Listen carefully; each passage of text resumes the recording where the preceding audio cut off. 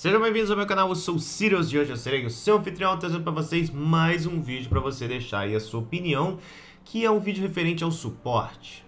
Que geralmente quando eu recebo a pergunta, Sirius, qual o melhor suporte na sua opinião? Eu não sei como responder, porque a maioria das pessoas pensa que o suporte é o guardião. E que o guardião, por ser tanque e ter controle, é um suporte. E aí a gente entra no assunto meta, que é algo fascinante uh, dentro das possibilidades que existem de que não existe meta e é apenas a única possibilidade que existe.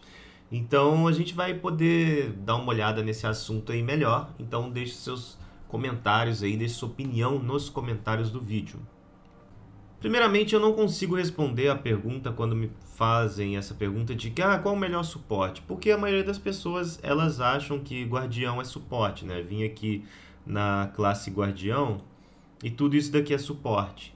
E segundo, porque a definição de suporte, ela não faz sentido, uh, na verdade a escolha de um guardião não faz sentido, algumas vezes não faz sentido, porque a definição de suporte ela é algo que dentro do Smite ela não é definida por classe.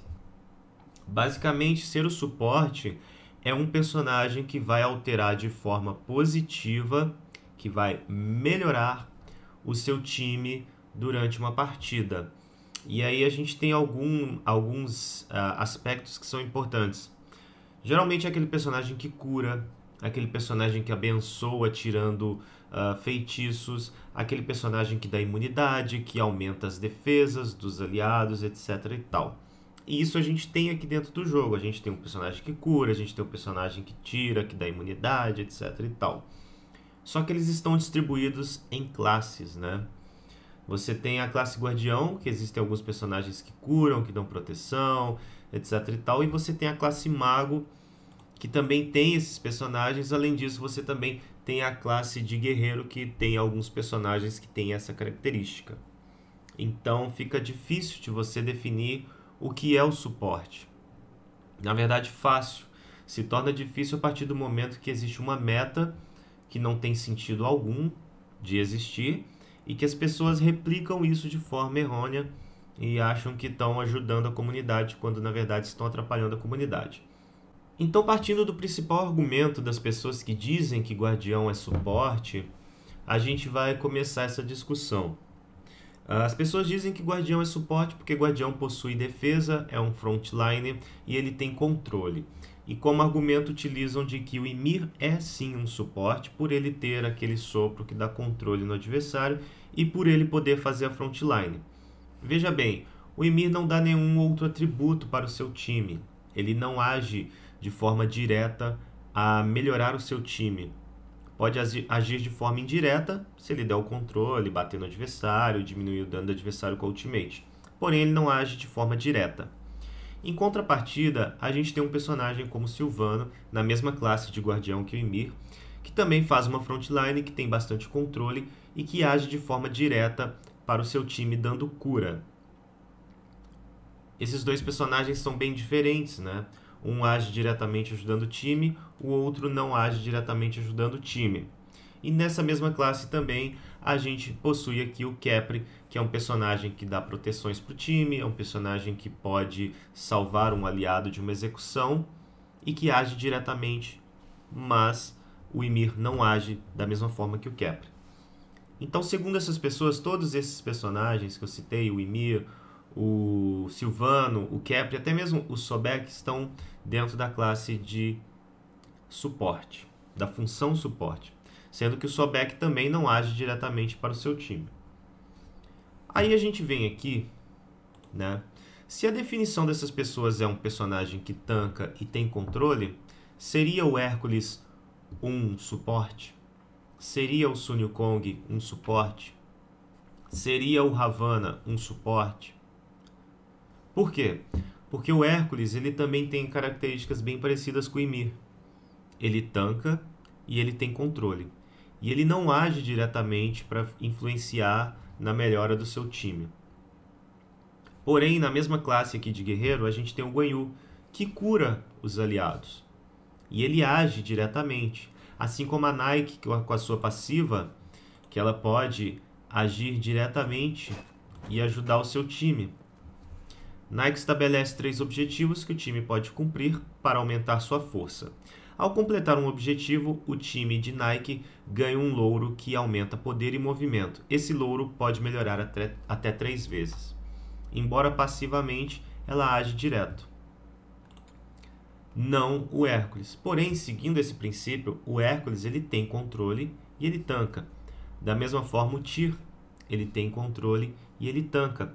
E qual a diferença do Hércules e Tyr para o Ymir e o Sobek? Apenas serem físicos e esses personagens serem mágicos. Não é novidade para qualquer para todo mundo que o Hércules tanca muito mais do que o Ymir, tá? Que o Hércules tanca muito mais do que o Sobek e que o Hércules também tem controles. Então ele pode agir de certa forma como suporte de acordo com essas pessoas. Mas não faz sentido algum a gente colocar como suporte personagens que tenham controle tanque. Porque veja bem, como mostrado aqui para vocês, nem o Hércules, nem o Sun Kong, nem o Ravana, nem o Tyr, eles agem de forma a melhorar o seu time. Eles simplesmente tancam e têm controle. Agora, personagens como Guanyu, Nike, personagens como Afrodite, Xangá, Hela, tá passando o um avião, que loucura, meu Deus. Ra, são personagens que agem diretamente para aumentar alguma característica do seu time. Se você tem uma Afrodite no seu time, o que ela pode fazer pelo seu time? Ela pode dar a um aliado o benefício de ter bônus, Afrodite sopra, sopra um beijo para uma divindade aliada, fazendo dela uma gêmea e concedendo ambos movimento ampliado. A gente já tem isso daqui sendo um buffzinho, um buffzinho para o seu aliado. Fora isso, ela pode curar esse aliado que esteja linkado a ela. Fora isso, ela ainda pode dar imunidade para esse aliado que esteja linkado a ela. Então ela tem características de suporte. Ela é um tanque? Não tem tantas características de tanque mas tancar dentro do Smite, cabe você fazer uma build para tentar tancar. A mesma coisa se você pegar uma Xangá. A Xangá, ela pode curar com a sua habilidade número 3. Ela cura tanto aliados quanto minions. É uma característica de suporte. E ela está na classe maga. Se você for olhar ela, que desses aqui é um personagem extremamente suporte, ela pode não só curar se ela tiver na fase branca dela aqui, como na 2 dela, ela pode ajudar todos os aliados em uma área, removendo todos os efeitos de controle instantaneamente e protegendo-os dos futuros em, em, um breve intervalo. Então ela dá essa purificação para os aliados. Se tiver um Ares no time adversário e você tiver uma Hela, você pode ajudar o seu aliado. Se tiver algum controle lá, um slow, coisa do tipo, você pode ajudar o seu aliado além de curar. E ela tem a cura na 1 também, né? Então é um personagem extremamente suporte. Ela é um tanque? Não é um tanque. Mas onde que eu quero chegar com tudo isso? Eu não sei responder para as pessoas qual é o melhor suporte. Até mesmo porque a gente não sabe a situação que a gente está enfrentando.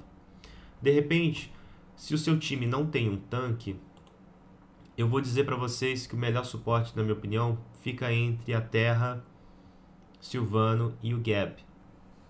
Porque eles tancam bem.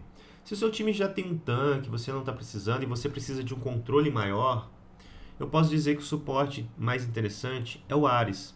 Porque o Ares também tem características de suporte. Se você olhar a habilidade número 2 dele, Ares fortalece as defesas próprias e dos aliados próximos. Ele dá um buff de defesa. E se você precisa de controle, temos o controle da Ultimate e também temos o controle da habilidade número 1. E nada impede também de você ter outros personagens de suporte no seu time. Você pode ter um Ra para curar, você pode ter uma Hela, uma Afrodite, enfim. As possibilidades são grandes, são infinitas praticamente. Se você for olhar dentro de uma composição de time, você pode fazer tantas coisas com picks de personagem quanto uh, a build que você vai utilizar. Então eu não sei te dizer qual o melhor suporte. E eu também não sei te dizer se o suporte vai ser o tanque da partida. Porque eu posso ter um Hércules, que não é um suporte, jogando na solo lane, e ele é o tanque. Assim como eu posso ter um Ra jogando de suporte, e ele não vai ser o tanque, ao menos que eu faça uma build de tanque. Enfim, a gente pode ter o tanque a gente pode ter o suporte. Isso não vai dizer que o suporte é o tanque ou que o tanque é o suporte. E que o guardião, na verdade, é o suporte do meu time, né? Eu posso pegar um guardião e jogar de Shinchan na solo. Eu posso jogar até mesmo de Silvano, que é um suporte na solo. E ele não vai deixar de ser um suporte por estar na solo, ou estar no mid, ou estar jogando na selva ele continuará sendo um suporte, porque as habilidades dele dão isso para ele. A questão da build é algo à parte. Você fazer uma build de suporte ou não pode te tornar suporte, ou como pode de repente te dar a impressão de que você é um suporte, colocando uma build de suporte no Ymir. Ok, estou carregando itens de suporte nesse personagem.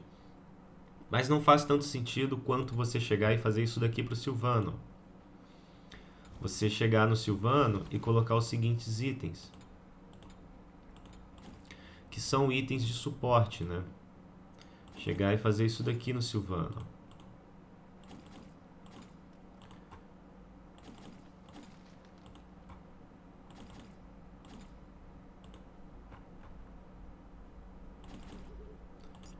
Eu fiz a seguinte build no Silvano. Se eu fizer essa mesma build no Ymir, eu tô com uma build de suporte, porém o meu personagem não vai ter tanta funcionalidade nessa questão. Essa build aqui, além de garantir as defesas em aura para o seu time, que são baixas, a Haress precisa melhorar isso. Você tem a defesa física e a regeneração de HP, você tem a defesa mágica e a regeneração de MP. Você tem aqui o aumento de proteções conforme a sua cura, né? Silvano dando a cura ali, os aliados vão ganhar 20 de proteções físicas e mágicas. Você tem aqui aumentando uh, o roubo de vida e o poder mágico, além de aumentar o roubo de vida e o poder físico dos aliados que estão próximos a você.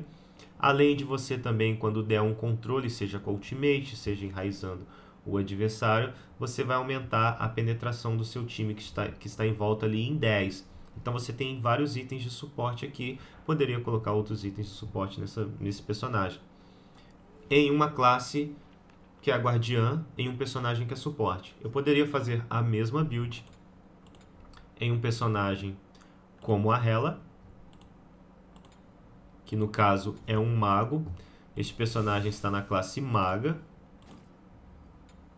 e não na classe guardiã. Só para a gente ilustrar aqui direitinho, né? Poderia fazer a mesma build se eu quisesse, tá? E esse personagem continuaria sendo um personagem de suporte também.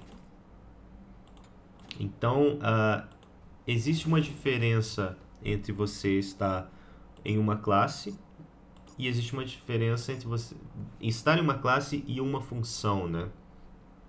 Nem todo guardião é suporte, nem todo suporte é tanque. Então, nem todo mago é um personagem feito só para dano. Você tem exemplos como a Hela, Ra, Afrodite, Xangai, etc e tal, que são personagens muito úteis para o seu time.